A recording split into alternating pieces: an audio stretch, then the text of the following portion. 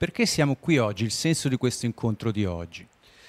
Questa è la seconda puntata eh, di, un, di, un, viaggio eh, all'interno di una innovazione tecnologica per l'ammodernamento delle reti. Il primo l'abbiamo fatto in settembre eh, del 2021 e, e, a quel tempo si parlava di, solo di disaggregazione.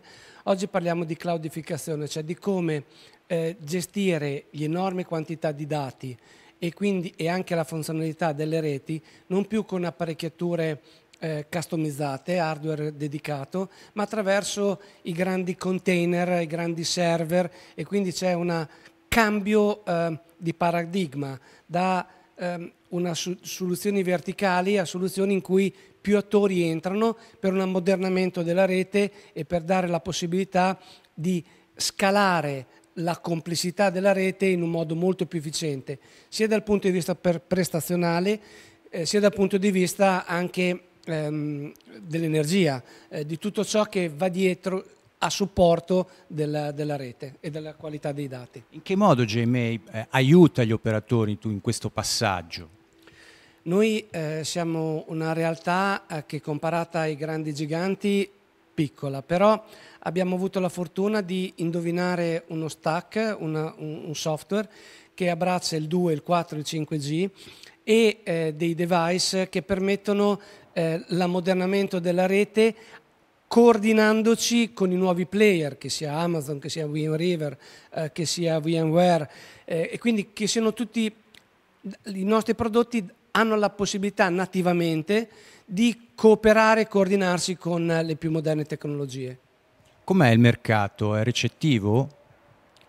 Il mercato è sempre in bilico fra il mondo conosciuto e il mondo che si vorrebbe. Quindi in questo mm, forse abbiamo bisogno eh, di più coraggio da parte degli operatori e sicuramente di molto più attenzione da parte eh, delle istituzioni, perché non si diventa eh, grandi senza avere anche l'attenzione istituzionale. Beh, un appello quindi alle istituzioni di dire, seguire il settore e cercare di promuoverlo. Sicuramente eh, il mio invito a guardare con più attenzione, soprattutto per i governanti italiani, alle aziende che sviluppano qua delle cose. Non vuol dire dare dei vantaggi, però mh, vuol dire guardare meglio che cosa...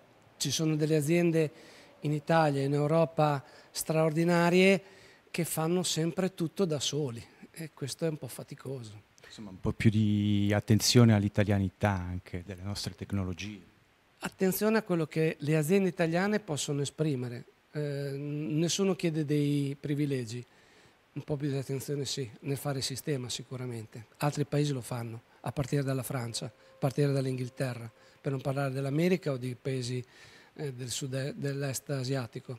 Noi no, mai. È dura così.